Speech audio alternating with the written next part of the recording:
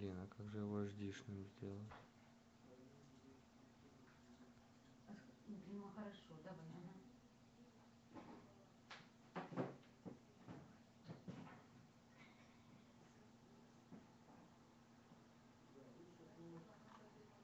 Так, слушай, а как мне, а, смотри, я